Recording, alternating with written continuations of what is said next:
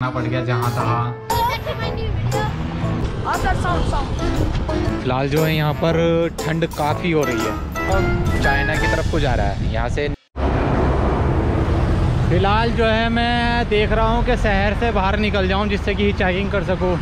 क्योंकि आज लगभग दो बज रहे हैं। दो बजे से अगर मैं रूम ले लूँ और यहाँ पर रुक जाऊँ तो कल सुबह फिर लेट हो जाऊँगा, फिर आधा दिन लग जाएगा।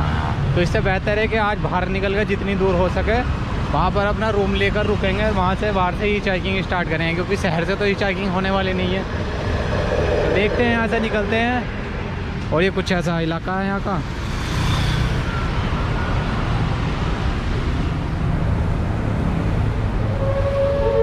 देखते हैं, निकलते हैं यहाँ से बाहर के लिए और कल अपना जो है चेकिंग करते हैं। देखते हैं रूम भी कहाँ मिलता है। तो फ़िलहाल थोड़ी दूर के लिए मैं बाहर आ चुका हूँ यहाँ से। सिटी के अंदर ही हूँ अभी। और ये यहाँ का कुछ ऐसा नज़ारा है।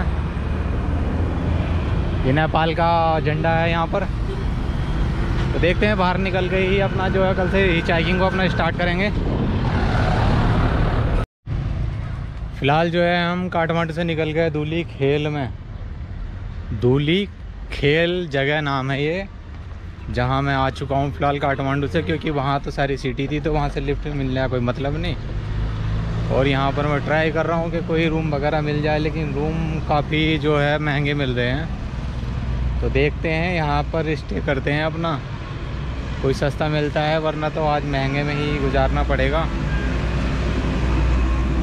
फ़िलहाल अभी ट्राई कर रहा हूँ कि रूम मिल जाए कहीं पर। ये कुछ इलाका है सारा, पहाड़ी इलाका। काफ़ी कुछ फ़ेमस इलाका है ये। फ़िलहाल अभी जो है यहाँ पर रूम वूम का कुछ पता नहीं चल पा रहा है। देखते हैं कितने समय में रूम मिलता है। ये जो जगह है फ़िलहाल, धूली खेला। देखते हैं यहाँ पर अगर रूम मिल जाता है तो वरना तो आगे के लिए तो फिर निकलना है। कल रात का तुम्हें पता ही है सीन क्या हुआ था। कल समथिंग अराउंड जब हम उधर अपना चाइकिंग के लिए निकले थे, हेटोड़ा नाम की जगह से तो भैंसा नाम की जगह थी वहाँ से उस रोड से हम जब निकले थे तो वो रोड इतनी ख़राब थी कि मान के चलो काफ़ी मतलब काठमांडू तक ही वो रोड बिल्कुल ख़राब थी और कल थोड़ा सा मेरे साथ ये हुआ कि जो गूगल चाचा हैं, उन्होंने थोड़ा सा रास्ता दिखा दिया था। और रास्ते में ये नहीं दिखाया था कि रास्ता है ही कैसा है बिल्कुल ही। तो उसकी वजह से पूरे पहाड़ों में भटकना पड़ गया जहाँ तहाँ क्योंकि दरअसल वहाँ पर ट्रांसपोर्ट ही चल रहा था सारा सब कुछ। और, जो है, वहाँ पर कोई भी किसी प्रकार से लिफ्ट नहीं मिली थी क्योंकि रास्ता इतना ख़राब था, पहाड़ी इलाका था तो किसी ने भी लिफ्ट नहीं दी थी। तो अराउंड चलते चलते मैंने भी 12 किलोमीटर का जो नीचे सबसे डाउन था, ऊपर चोटी तक का जो पहाड़ है, वो पूरा चढ़ चुका था मैं। तो वहाँ पर सीन ही हो चुका था। फिर उसके बाद भी आगे तक जब मैंने देखा कि हाईवे चलो आएगा गूगल मैप के ज़रिए मैं देख कर चल रहा था कि हो सकता है कहीं और मिले। और लिफ्ट मिले। तो फाइनली कोई भी जो है लिफ्ट वहाँ से नहीं मिल रही थी। तो उसके बाद सीन क्या हुआ? वहाँ पर एक दो जगह मतलब एक आध या दो एक किलोमीटर की जगह पे मुझे लिफ्ट मिली। तो मैंने सोचा कि दोराली नाम की एक जगह है। तो दोराली नाम की जगह पे जो फ़िलहाल है, मैं वहाँ पर स्टे करने की कोशिश कर रहा था। वो एकदम पहाड़ के ऊपर चोटी पर ही था। तो वहाँ पर समथिंग मैंने रूम वगैरह सब पता किया तो रूम वहाँ पर काफ़ी कॉस्टली था मतलब पंद्रह सौ रुपये के लगभग में रूम था वहाँ पर तो अपना इंडिया का तो वही है, नौ सौ से, नौ सौ साढ़े नौ सौ रुपये का बनता है। और फिर मैंने सोचा कि अगर मैं यहाँ पर रूम लेता हूँ तो कल भी मेरे को लिफ्ट तो मिलनी नहीं है, क्योंकि रास्ता ही ऐसा ख़राब है। तो क्यों ना सबसे बढ़िया आप तो ट्रांसपोर्ट ही पकड़ा जाए यहाँ से। तो क्योंकि वहाँ पर बादल भी जो है गड़गड़ कर रहे थे, मौसम ख़राब हो रहा था, ठंडा इलाका था एकदम ही। तो मैंने फाइनली क्या करा, एक भाई ने मेरे को सूमो के अंदर, सूमो मतलब टैक्सी उसके अंदर से मतलब वो दिला दी थी। तो मैंने अपना सूमो को करके वहाँ से निकल आया। सूमो में अराउंड लगभग उन्होंने मेरे से पचास साठ किलोमीटर दूर के ही अराउंड तीन सौ रुपये मांगे थे, यहाँ की करेंसी में। तो मैंने चलो कोई नहीं, अब तो मजबूरी है, क्योंकि यहाँ से क्या होता है कि सूमो एक टैक्सी होती है, जिसका यहाँ पर क्योंकि रोडवेज़ जो है ना रोडवेज़ चलती नहीं है यहाँ पर। तो सूमो ही एक टैक्सी है, जहाँ पर वह उनका टिकट वगैरह होकर चलता है एक जगह से। तो बीच रास्ते में से अगर वो बैठाएँगे तो अपने हिसाब से ही पैसे मांगते हैं। तो वहाँ पर मैंने सूमो वगैरह को लेकर वहाँ से मैं निकल आया तो आधे रास्ते जो सूमो में जब वहाँ पर टैक्सी अपनी निकली पहाड़ी इलाके में तो वहाँ पर बीच में बारिश वगैरह भी हो गई थी और ठंडा इलाका कुछ ऐसा मिल गया था जैसे मनाली के अंदर। मनाली में तो फ़िलहाल बर्फ़ पड़ती है, लेकिन वहाँ पर बर्फ़ तो नहीं पड़ी थी, लेकिन ठंडी इतनी ज़्यादा हो रही थी, बहुत ज़्यादा। तो बीच में बारिश पड़ने की वजह से जो है अपना सोचा कि वहाँ का काठमांडू के लिए निकला जाए। तो काठमांडू के लिए फ़िलहाल मैं निकल कर आ गया था तो रात के समथिंग मुझे सात से आठ के बीच हो चुका था। काठमांडू में आ चुका था और बारिश भी झमझम सी हो रही थी पूरी तरीके से। तो फ़िलहाल कल रात मैंने अपना यहाँ पर आके खाना वाना खाया, उसके बाद में अपना खाना वाना खा के रूम वगैरह देखा तो रूम मेरे को पहला एक मिला था जो कि मेरे हिसाब से ठीक नहीं था। मतलब शेयरिंग में ही रूम काफ़ी था, महँगा था, तीन सौ एक रुपये के लगभग में था। शेयरिंग में मतलब बेड में शेयरिंग मिला था तो देखने लायक भी ठीक नहीं था। मैंने उसको छोड़ दिया। उसे छोड़ कर मैंने इतनी गलती, इतनी बड़ी गलती कर दी कि मेरे को लगभग नहीं तो डेढ़ से ज़्यादा घंटे मेरे को सारे काठमांडू में भटकना पड़ गया। सारे जो होटल वगैरह थे, यहाँ पर कुछ दिख नहीं रहा था क्योंकि मेरे पास इंटरनेट तो था नहीं। और दूसरी चीज़ ये है कि यहाँ पर सारी जो लोकेशन थी वो क्लोज हो चुकी थी। मतलब सारे होटल वगैरह, सारी सब कुछ बंद हो चुका था फाइनली रात के साढ़े दस बजे तक मैंने सोचा, उम्मीद ही खो दी है। तो ऐसी सड़क किनारे में पुल तक चलते चला जा रहा था, चलते चला जा रहा था। फिर मैंने एक जगह देखा गेस्ट हाउस मिला तो मैंने वहाँ से बातचीत की तो गेस्ट हाउस में मुझे एक रूम मिला फाइनली वहाँ पर। तो रूम कोई लगभग पाँच सौ रुपये के बीच का था तो मैंने सोचा, मैंने कहा, यहीं पर रुका जाए। तो वहाँ पर मुझे इंटरनेट वाईफाई सब कुछ मिला था सेपरेटली रूम था। तो अपना वहीं पर रात में अपना स्टे कर लिया था। तो कल का दिन इस तरीके से कुछ गुजरा है। बाकी आज का जो सीन है, आज का ये है, जो काठमांडू है यहाँ से अपना देखते हैं फ़िलहाल जो है यहाँ पर सोच तो रहे थे कि यहाँ पर रुका जाए यहाँ से हिचाइकिंग की जाए तो हिचाइकिंग के लिए तो ये सारा पूरा शहरी इलाका है तो शहरी इलाके से मैंने सोचा यहाँ पर निकला जाए आगे के लिए फ़िलहाल जो है सीन कुछ ऐसा है यहाँ पर धूली नाम की जगह है जहाँ पर मैं अराउंड सत्ताईस किलोमीटर दूर की दूरी पर आ चुका था तो यहाँ पर मैं आ चुका था अपना। यहाँ पर मैंने कोशिश की रूम वगैरह ये ये सामने की लोकेशन है जहाँ पर जो रूम है वो काफ़ी कॉस्टली था तो इधर साइड में मेरे को मिल गई थी। Bye bye bye bye. तो यहाँ पर मैंने अपना रूम वगैरह ले लिया किसी से बातचीत करके अपना। तो कुछ इस तरीके का नज़ारा है देख सकते हैं। क्या क्या पहन रखी है? कल रात ही पहन लिया था मैंने गद्दे में तो पहले ही पढ़ के रो सो गया था मैं रात। यहाँ पर इलाका ही ऐसा है ठंडा ठंडा पानी। और ये है सारा इलाका।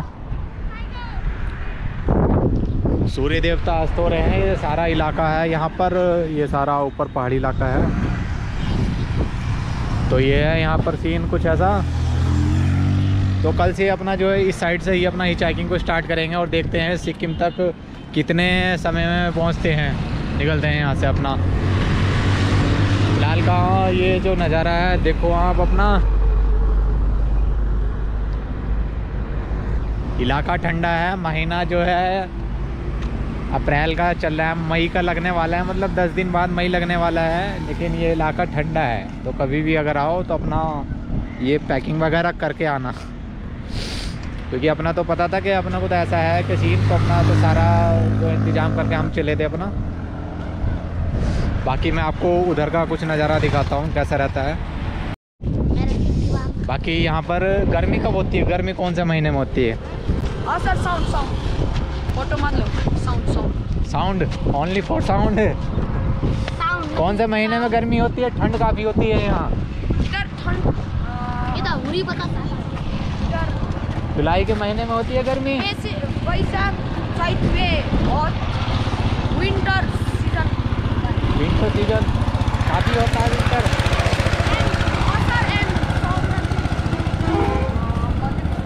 अच्छा। बहुत समर सीज़न आप हिंदी हो क्या? इंडिया। भारत भारत। आप इंडिया से? यस।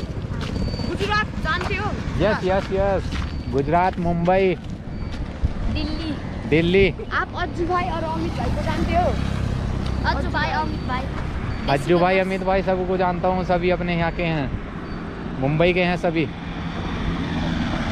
अज्जू भाई आप तो बहुत बड़ा यूट्यूबर है अज्जू भाई हाँ काफ़ी है हमारे यहाँ पर। आपके यहाँ पर यूट्यूब देखते हैं ज़्यादातर? हाँ हाँ। हाँ, कितनी देखते हैं? भाई अमित भाई का बहुत बड़ा फ़ैन है भाई। सबको लाइक सब्सक्राइब बेसिक गेमर अच्छा चलता है यहाँ पर एस ना। मानिया। टोटल गेमिंग सभी।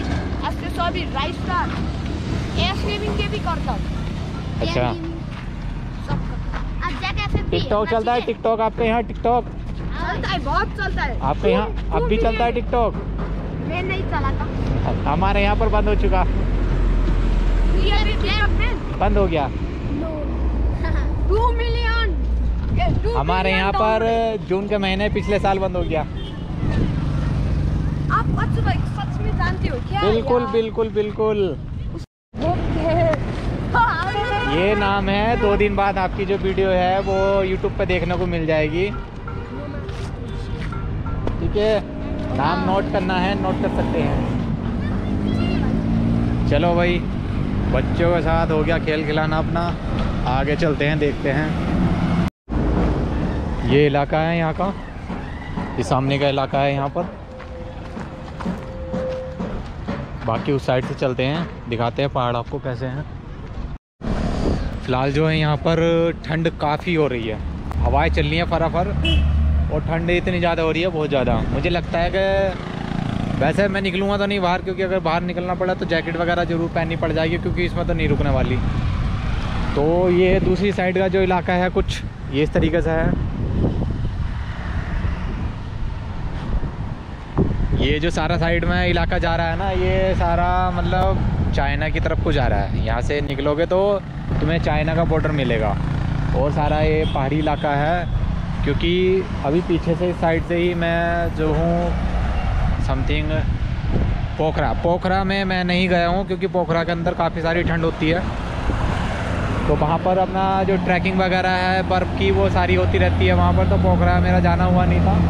तो फ़िलहाल अपना जो है, इधर ही रुक गए। और कल से देखते हैं वहाँ को सिक्किम के लिए निकलते हैं। तो ये सारा इलाका जो इधर का जा रहा है, वो सारा इधर को चाइना के बॉर्डर की तरफ़ को मिलता है। तो ये कुछ इस तरह का से ये भी इलाका है।